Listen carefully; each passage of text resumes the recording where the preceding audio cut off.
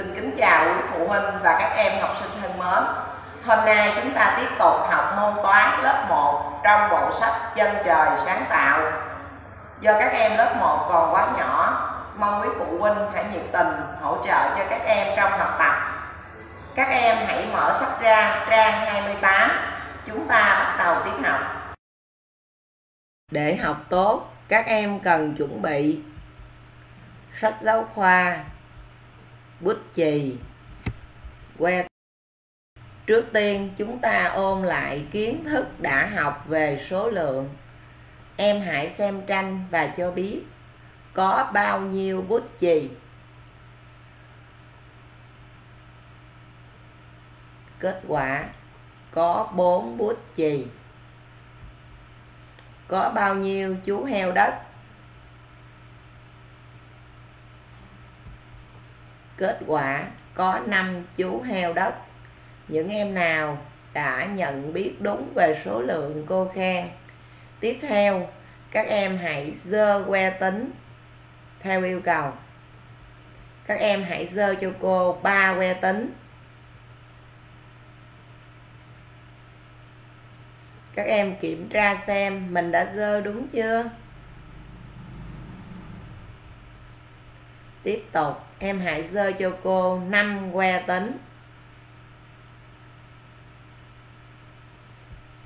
Các em kiểm tra xem mình đã dơ đúng 5 que tính chưa? Dơ cho cô 4 que tính. Kiểm tra xem mình đã dơ đúng chưa? Cô tuyên dương, những em đã dơ đúng số que tính theo yêu cầu. Chúng ta chuyển sang bài mới nhé. Bài học hôm nay sẽ giúp các em lập được dãy số từ 1 đến 5 bằng cách thêm 1 vào số liền trước. Giúp các em nắm vững hơn về nhận biết số lượng từ 1 đến 5. Biết tách và nói các số trong phạm vi 5 qua bài các số 4, 5. Tiết 2 trong bài này gồm có 3 bài tập, bài tập 1, bài tập 2 và bài tập 3. Chúng ta bắt đầu luyện tập từng bài nhé. Chúng ta tiến hành bài tập 1. Bài tập 1 này yêu cầu chúng ta đếm số con mèo và nêu số thích hợp vào dưới mỗi tranh. Chúng ta đi vào cái tranh mẫu đầu tiên tranh mẫu đầu tiên này các em xem, có hai loại, đó là mèo lớn và mèo con. Bây giờ ta xem có mấy con mèo lớn và mấy con mèo con nha. Một, hai. Như vậy có một mèo lớn và một mèo con là hai con mèo, hai con mèo. Ta viết số 2 các em đọc cho cô, hai con mèo ta sang tranh 2 các em xem tranh 2 có mấy mèo lớn và mấy mèo con nè có một mèo lớn và không có mèo con. Như vậy, tranh 2 này, có một con mèo. Các em nói lại theo cô. Một con mèo. Ta sang tranh 3 rồi, các em tự đếm đi đếm mèo lớn trước, rồi đếm tới mèo con, đếm từ trái sang phải nha. Các em đếm nè.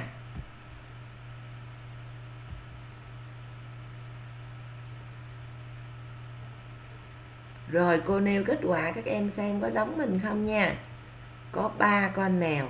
Những em nào làm đúng, cô khen. Các em nói lại theo cô. Ba con mèo. Ta sang tranh 4 rồi, các em tự đếm đi. Các em đếm mèo lớn trước, rồi đếm mèo con đếm từ trái sang phải nha.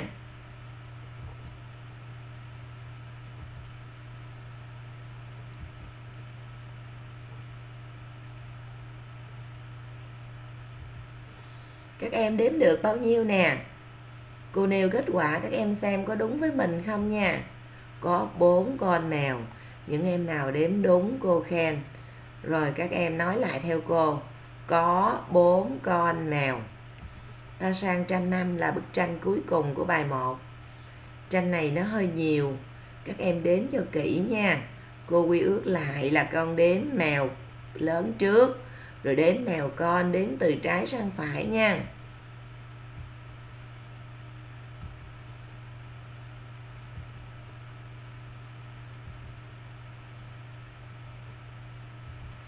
Rồi đếm được bao nhiêu nè? Cô nêu kết quả nha. Năm con mèo. Những em nào đếm đúng, cô khen. Rồi bây giờ nè, các em nói lại theo cô. Có 5 con mèo. Như vậy là qua cái bài tập số 1 này, các em đã lập được dãy số từ 1 đến 5 và các em nên lưu ý nha, cái số mèo ở phía sau nhiều hơn số mèo phía trước là một con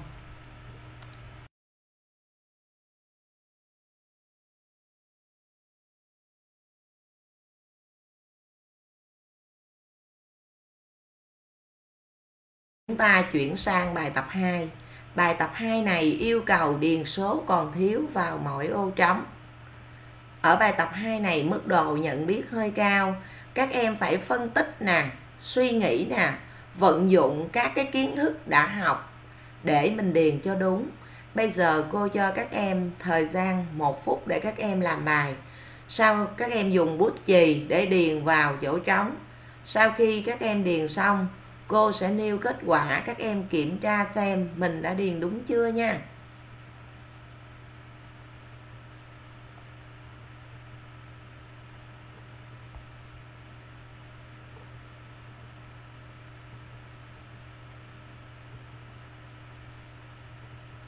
các em có thể nhờ ba mẹ ngưng cái máy lại rồi mình làm đi. Mình làm xong rồi á, rồi mình mở máy mình học tiếp. Rồi bây giờ chúng ta bắt đầu sửa bài nha. Các em thấy nè, cái ô vuông đầu tiên kể từ trái sang phải là cái ô vuông màu vàng đó. Người ta hỏi các em là ô vuông này là tương ứng với số mấy? Nhưng người ta cho em biết cái ô vuông tiếp theo là ô vuông màu xanh nè, là số 2 tiếp theo cái ô vuông màu đỏ là số 3 như vậy em suy nghĩ xem, số nào đứng trước số 2 cô nói tới đây là các em đã biết rồi ha. Trước số 2 là số 1 rồi bắt đầu bây giờ mình mới áp dụng cái kiến thức này. Đó là khi thêm một vào số phía trước, ta sẽ được số phía sau. Như vậy cô có một, cô thêm một là hai. Hai cô thêm một là ba. Ba cô thêm một là mấy? Cô nói tới đây là mình biết rồi ha. 3 thêm 1 là 4 em nào đã điền đúng? Cô có lời khen. 3 thêm 1 là 4 vậy 4 thêm 1 là 5 ta sẽ được dãy số 1 2 3 4 5 và dãy số bên tay phải, ngược lại. Các em thấy 5 ta xuống 4 là các em nhớ lại cái bài hôm qua, cái bài số 3 mình đã học. Khi mình bớt 1 thì mình sẽ được số ở phía trước. Ha. 5 ta bớt 1 ta còn 4 Vậy 4 ta bớt 1 ta sẽ còn mấy nè? À 4 bớt 1 còn 3 Tương tự 3 ta bớt đi 1 ta sẽ còn mấy? 3 bớt 1 còn 2 Và 2 bớt 1 còn 1 Những em nào đã làm đúng là cô khen. Các em rất rất là giỏi. Ha. Rồi bây giờ ta sẽ được dãy số. 5, 4, 3, 2, 1 Qua bài tập 2 này các em đã được thực luyện tập các số từ 1 đến 5 và ngược lại. Các em lưu ý, khi ta thêm 1 vào số phía trước thì ta sẽ được số phía sau. Và khi ta bớt 1 ở số phía sau thì ta sẽ được số phía trước. Nhớ nha. Bây giờ các em đọc lại từ trái sang phải cho cô nha. 1 2 3 4 5 4 3 2 1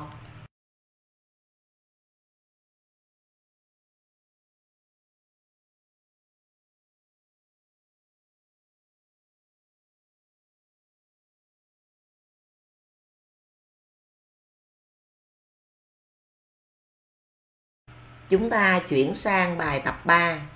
Bài tập 3 yêu cầu đếm và nói theo mẫu. các em nhớ, yêu cầu ở đây là có hai phần. Phần thứ nhất là đếm, phần thứ hai là nói theo mẫu. Bây giờ chúng ta lần lượt luyện tập từng tranh, ta đi vào tranh một. Bây giờ các em nhìn tranh một. Tranh một vẽ gì?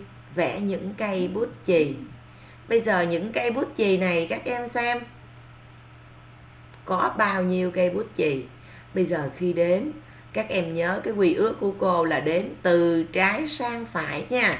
Rồi các em đếm xem. Một, hai, ba, bốn. Có bốn cây bút chì. Bốn cây bút chì. Người ta viết số 4 như vậy là phần đếm ta đã đếm được bốn cây bút chì. Bây giờ về phần nói. Phần nói chúng ta nhìn, ta phân tích xem. Trong cái tranh này, bút chì có hai màu sắc khác nhau. Đó là màu xanh và màu hồng. Và có hai kích cỡ khác nhau. Đó là dài hơn và ngắn hơn. Bây giờ nếu theo màu sắc, thì ta xem chú ông vui vẻ nói gì nè. Chú ông vui vẻ nói là 4 gồm 3 và 1 bây giờ mình phân tích xem. Chú ông vui vẻ đã nói đúng chưa? Bốn cây bút chì gồm 3 3 tức là ba cây bút chì màu xanh. 1 2 3 và một cây bút chì màu hồng. Như vậy, chú ông vui vẻ nói 4 gồm 3 và 1 chú ông đã nói đúng rồi. Như vậy các em hãy nói theo nè. 4 gồm 3 và 1 bây giờ, đó là theo màu sắc. Bây giờ theo kích cỡ thì ta thấy như thế nào? Theo kích cỡ thì ta thấy có những cây bút chì dài hơn và những cây bút chì ngắn hơn. Bây giờ em xem, có mấy cây bút chì dài hơn và mấy cây bút chì ngắn hơn. Như vậy em nói cho cô xem 4 gồm mấy và mấy. Bây giờ cô nêu. Các em xem coi cô nói có đúng với cái suy nghĩ trong đầu của mình không nha. 4 gồm 2 và 2 tức là 4 cây bút chì gồm 1 2 2 cây bút dài hơn và 1 2 2 cây bút ngắn hơn. Như vậy cô nói 4 gồm 2 và 2. Các em hãy nói lại theo cô. 4 gồm 2 và 2.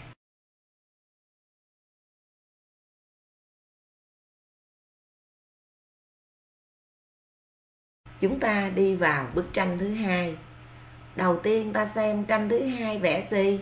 À, tranh thứ hai vẽ những que kem trông rất là ngọt mát ha.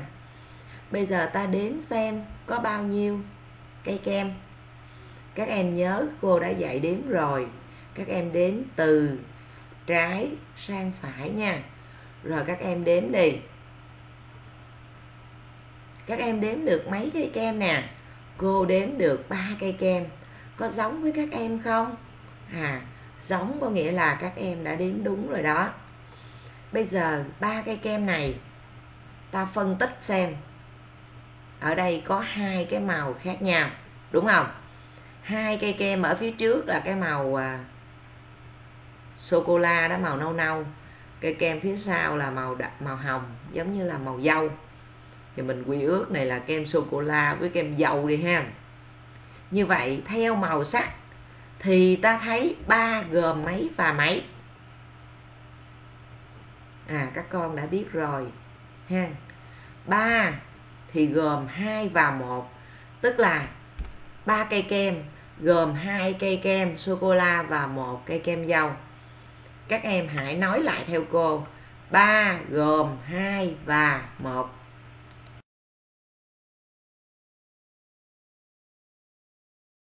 Chúng ta chuyển sang bức tranh thứ ba. Tranh thứ ba này vẽ gì à tranh thứ ba vẽ những chiếc ô tô. Bây giờ, hãy đếm xem có bao nhiêu chiếc ô tô. Nhớ là đếm từ trái sang phải nha. Rồi, cô đếm được hai chiếc ô tô. Các em có đếm giống cô không? Nếu mà các em đếm đúng hai chiếc ô tô là mình đã đếm đúng nha. Bây giờ bắt đầu mình mới phân tích nè. Hai chiếc xe này, em thấy nó giống nhau về kiểu xe, nhưng mà nó khác nhau về màu sắc. Một chiếc thì màu cam, một chiếc thì màu tím, ha. Như vậy ta thấy theo màu sắc thì hai gồm mấy và mấy nè? Rồi. À các em nghe cô nói rồi, có giống với suy nghĩ của các em không nha? Hai gồm một và một, tức là hai chiếc xe, gồm một chiếc xe màu cam và một chiếc xe màu tím. Các em nói lại theo cô. Hai gồm một và một.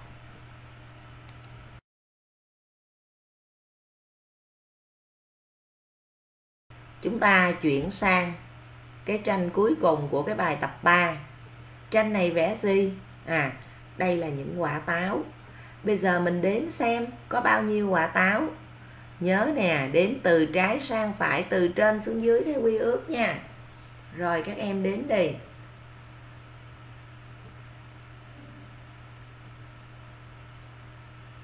Cô đếm được 5 quả táo những em nào đếm được năm quả táo là những em đó đã đếm đúng cô khen bây giờ mình bắt đầu mình phân tích năm quả táo này khác nhau ở chỗ nào. Thứ nhất là mình nhìn vào là mình thấy màu sắc nó khác nhau. Có màu hồng nè, rồi có màu xanh nè. Bây giờ con xem. Có mấy quả màu hồng và mấy quả màu xanh? Như vậy, theo màu sắc thì năm gồm mấy và mấy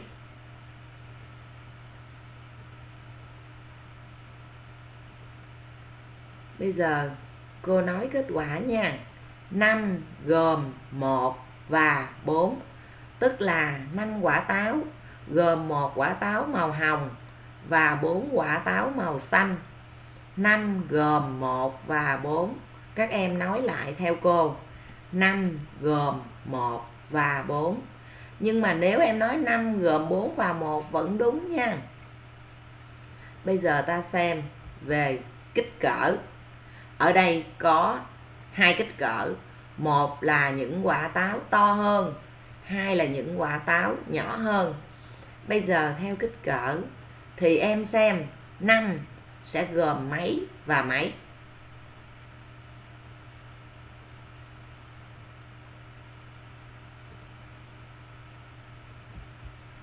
Cô nêu kết quả. 5 gồm 2 và 3 có nghĩa là 5 quả táo. Có hai quả táo to hơn.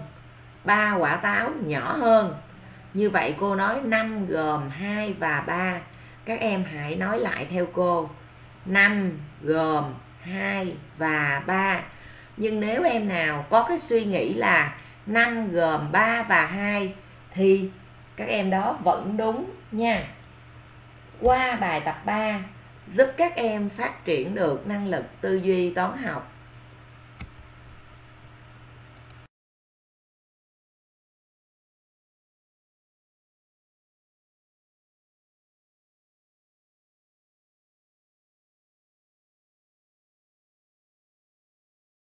Các em hãy mở sách ra trang 27 trang 27 cái bài mà cái phần mà à, hôm trước, cái tiết trước mình học chưa có học tới đó, thì bây giờ mình làm.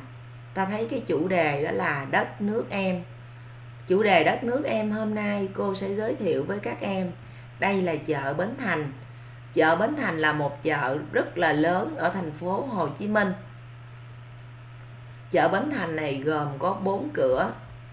Đó là cửa Bắc, cửa Nam, cửa Đông và cửa Tây hôm nay cô giới thiệu chợ Bến Thành vì nó có liên quan đến một kiến thức mà các em vừa học.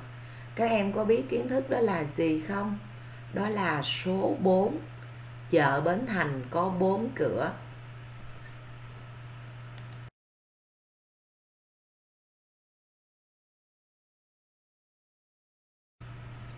Chúng ta sẽ chuyển sang phần hoạt động ở nhà ở nhà thì chắc chắn các em sẽ giao tiếp với nhiều người. Hôm nay cô sẽ chia sẻ với các em một cái bí quyết để khi giao tiếp mình trở nên ngoan hơn, đáng yêu hơn. Đó là mình thường xuyên dùng các từ ngữ sau đây. Từ thứ nhất là từ dạ. Khi mình nói chuyện với người lớn hoặc là mình trả lời thì mình nói dạ trước rồi mình mới nói sau. Thứ hai là từ thưa. Thưa này, đó là khi mình đi đâu thì mình thưa ví dụ như là thưa ba con đi học thưa mẹ con đi chơi. Từ thứ ba là từ cảm ơn. Khi nào mình nói cảm ơn khi người khác giúp mình một việc gì đó các em ạ à, dù một việc rất nhỏ mình cũng phải nói từ cảm ơn nhé. Từ thứ tư là từ xin lỗi. Khi mình làm phiền lòng người khác thì mình nói xin lỗi người khác sẽ dễ dàng bỏ qua cho mình mà không có giận mình. Từ thứ năm, đó là từ vui lòng. Khi mình nhờ vả ai một việc gì đó, thì mình nói trước, xin vui lòng. Thì người khác sẽ sẵn lòng giúp đỡ cho mình. Hôm nay, cô chia sẻ với các em bí quyết này bởi vì ở đây có một kiến thức liên quan đến bài học. Đó là năm từ và những cái kiến thức để cần để học hàng ngày. Đó là dạ thưa, cảm ơn, xin lỗi, vui lòng, mình phải thực hiện hàng ngày, ha. Tiếp theo đây, cô sẽ giới thiệu với các em vị trí của thành phố Hồ Chí Minh trên bản đồ. Trong sách trang 157 bây giờ các em hãy mở sách ra, trang 157 đi nhé. Các em mở sách ra trang 157 các em sẽ thấy cái bản đồ đất nước em. Đây là đất nước Việt Nam. Các em thấy đất nước Việt Nam mình có cái hình giống như là hình chữ ếch chữ ếch sờ đó các em. Ở phía trên đó là miền Bắc. Ở giữa cái phần eo nhỏ đó đó là miền Trung. Và ở dưới này là miền Nam là cái nơi mà mình đang sống nè. Bây giờ ở đây người ta yêu cầu mình tìm vị trí của thành phố Hồ Chí Minh trên bản đồ. Mà các em thấy do cái bản đồ này thu nhỏ quá, cho nên mình khó nhìn. Nhưng mà cô sẽ chỉ các em lưu ý là cái chỗ mà hồng hồng đó nha. Bây giờ nè, các em đặt ngón tay trái ngay số 13 rồi các em di chuyển theo chiều mũi tên khi nào mũi tên ngưng lại thì cái tay mình ngưng lại nha. Rồi, bây giờ tay phải các em đặt vào trong cái số 6 các em di chuyển theo chiều mũi tên. Đến khi mũi tên ngưng lại thì mình cũng ngưng lại. Rồi, cái phần hồng hồng đó các em, đó chính là thành phố Hồ Chí Minh trên bản đồ. Các em hãy vận dụng những kiến thức mà chúng ta đã học vào trong cuộc sống hàng ngày. Các em tập đếm các nhóm đồ vật, con vật có số lượng là 1 2 3 4 5 rồi các em dùng que tính để tách gộp trong phạm vi năm. Tập nói theo mẫu đã học, sau mỗi lần tách hoặc gộp nhé. Sau khi nói xong, các em nhờ ba mẹ hay là người lớn gì đó kiểm tra cho mình nhé. Tiết học của chúng ta đến đây là hết. Xin chân thành cảm ơn sự hỗ trợ nhiệt tình của quý phụ huynh. Chào các em học sinh thân yêu.